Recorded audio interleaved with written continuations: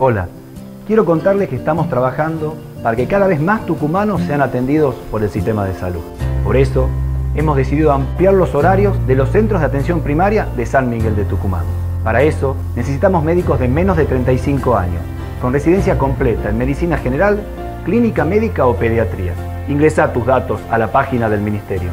Ojalá sean muchos los tucumanos que con su conocimiento quieran aportar a esta provincia que cada vez incluye más. Ministerio de Salud Pública, Gobierno de Tucumán.